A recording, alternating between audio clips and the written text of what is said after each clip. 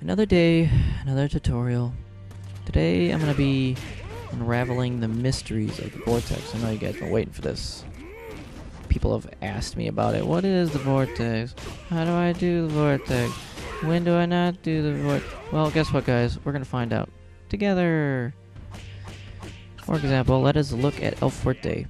He has a great mix-up game. That is that is his specialty, you could say. His wake-up game is what he does, and for the most part, all of his moves are pretty unsafe. Unlike Akuma, ha, Akuma has a much better wake-up game with more options, and it's safer than El Fuerte. Go figure. That's what makes Akuma so special. Now, I guess that's what a vortex is then. It's a wake-up, mix-up game. I mean, what you want me to say? Arturo Sanchez started it. Ain't my fault. Just gotta embrace it. Gotta embrace it. So put that boy on quick stand and training mode and uh, get working on those untechable knockdowns because that's how you start the vortex. That's certainly not untechable. Looks like we got some work to do. An untechable knockdown is basically a knockdown that renders your opponent unable to quick stand.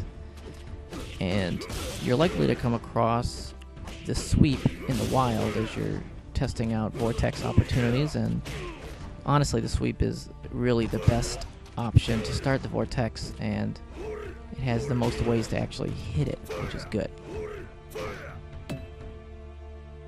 The most simple method you're seeing here, which is the poke slash counter poke. You can also sweep after an air tatsu.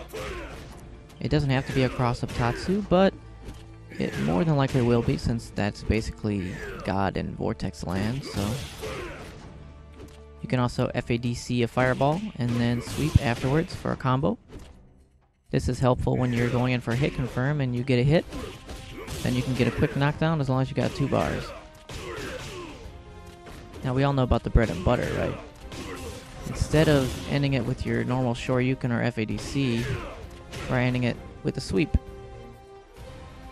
The timing may be difficult at first, but you'll get the hang of it. It doesn't work on every character, it is character specific, and here's a magical list I'm going to pop up on the screen.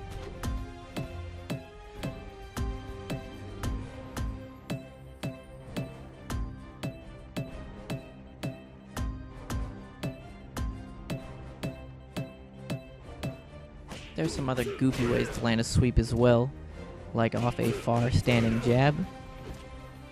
This is pretty difficult on most characters, but on a character with a giant hitbox like Sagat, it becomes relatively easy to do stupid loop combos that normally aren't possible.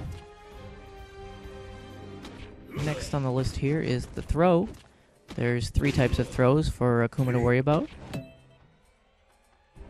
The throw is going to be your other major source for a knockdown, with the exception of the back throw, which puts you in a pretty awkward position, so it's not very useful, so we're not going to talk about it.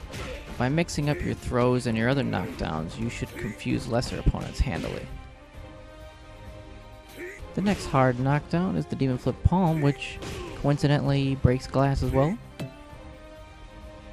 You're usually using the palm to whiff, but if it hits, you might as well go with the flow. Just step back a bit and that'll set up an okay mix-up. And finally we have the J.R. Rodriguez Special. Chances are your opponent's going to be pretty close to dead after using this, so don't expect too much mix-up opportunity. Thank you, and come again.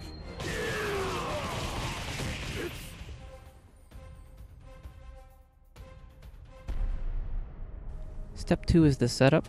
The setup can be likened to a World of Warcraft skill tree where you select an ability and you're narrowed down a certain path. In this case, it would affect your mix-up options later on, so you have to be aware of all your setups. It's important. First setup is the empty slash safe jump. A safe jump being a jumping attack on an opponent's wake up where you land one frame before they can reverse you. Some of these safe jumps I'm doing aren't really safe jumps because uh, I'm not very good at them, so they're more like a generic store brand version of a safe jump. So deal with it. This tactic in particular is good for baiting out wake up moves such as a reversal uppercut, throw, or whatever else they might do. And it also lets you set up opportunities for mix up, such as a low attack or throw. The real safe jump would not technically be able to bait out a reversal Shoryuken because the Shoryuken comes out one frame faster than the safe jump. But like I said, these are not real safe jumps. Next up on the list, we have the normal jump and attack, your basic stuff. It's pretty underrated among the Vortex options, I think, and on the breakfast cereal scale, I'd say it's a cornflakes. Now, when I say jump and attack, I'm of course including cross ups, neutral jump and attacks, and even jumping fireballs. So, all the above jump and attacks.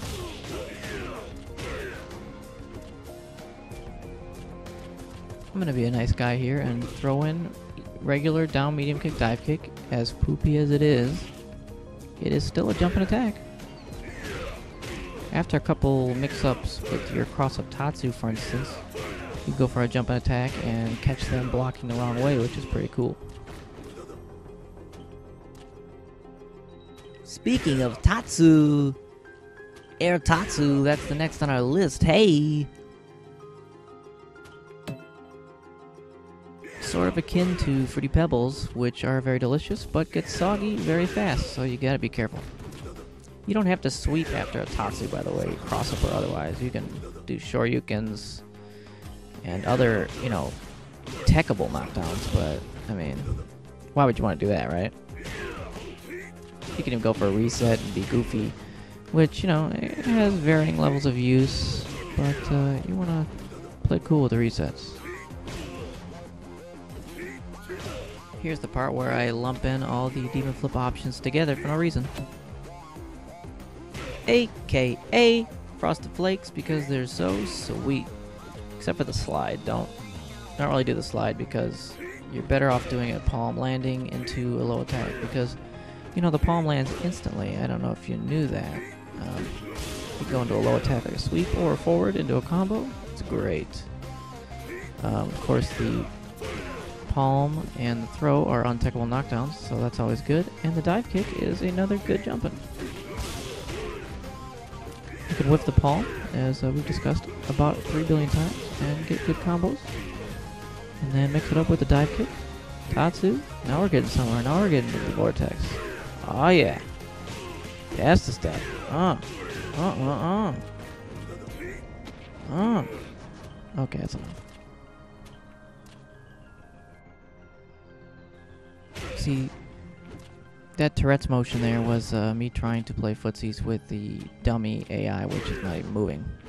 But uh, a lot of times, a good way to advance is by ground. People never expect it. It's a very ballsy move, so you know, just a walk-up throw or walk-up sweep, sure you can. all those are pretty cool options.